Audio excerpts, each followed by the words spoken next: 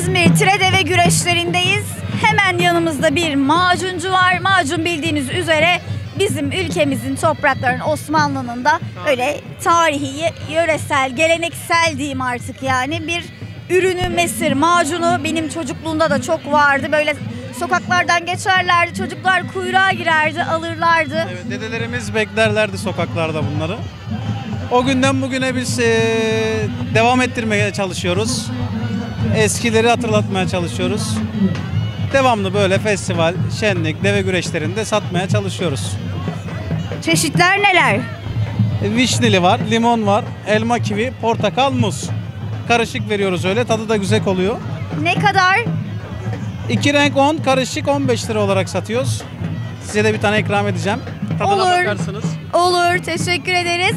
Gelir misiniz hep böyle? Geliriz devamlı deve güreşlerini takip ediyoruz. Festivaller, konserler. Elimizden geldiği kadar hepsine yetişmeye çalışıyoruz öyle diyelim. Vallahi çok güzel duruyor. Biz e, TV9 izleyicilerimiz için bir tadına bakacağız. Tabii. Hediyemiz olsun bu da size. Çok sağ olun. Afiyet olsun. Siz Tire'den mi geliyorsunuz? Yani Ben burada, buradan mı? değil, e, ben Manisalıyım. Akisar ilçesindenim. Manisa Akisar'dan geliyoruz buraya devam. Böyle kivili vereyim size. Karışık karışık veriyorum. Bu portakallı. Nasıl yapılıyor mesir macunu? Bu mesir macununun meyveli olanı. Ee, mesir macunu genellikle baharatlı olur. Bu meyveli olanı şöyle vereyim ben size.